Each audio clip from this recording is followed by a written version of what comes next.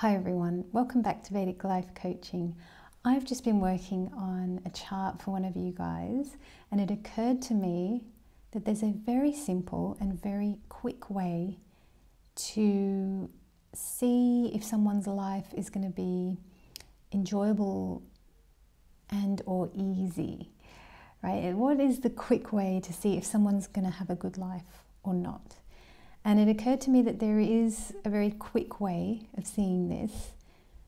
Does the person have a good sun? Does the person have a good moon? If you've got a good moon, good sun, you can do a lot with that. And what do I mean by that? Well, here's another way of expressing that. If you've got a good sun, you likely had a good dad. If you have a good moon, you likely had a good mum, right? So, what if you're hearing this and you go, oh no, but my sun is compromised or my moon is compromised or, you know, these planets have problems in my chart? That's good too, because that would force you, that would be a challenge in your chart, a karmic challenge in your chart to strengthen yourself and to work harder and to you know, cultivate your inner self more, you'll have to learn how to become your own father or your own mother. You'll have to parent yourself, hence the world of self development, right? And some of the strongest and best people in the world have overcome the challenges of their sun and moon. So I just wanted to share that very tiny point with you. It's going to be a small video, a couple of minutes.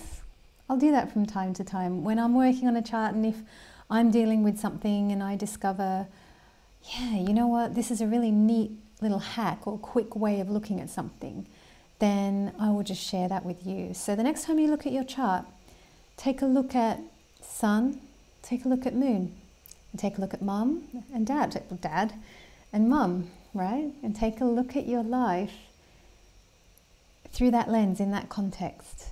And remember, it's never a bad thing if you've got a challenging planet because then that's your obstacle. That's the thing that you've come to work on.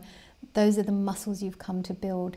That's what you've come to strengthen up. That's what you've come to do. So nothing is ever a problem, but it's always great to have an explanation for why life has turned out the way it has. You know, it's not like we're looking to blame the planets, but it is really good for the mind to have a reason. Sometimes that's very freeing, and in that freeing process, we get a bit of healing as well. So I hope this little tip helps you, and please remember to like, please remember to subscribe, and I look forward to seeing you next time.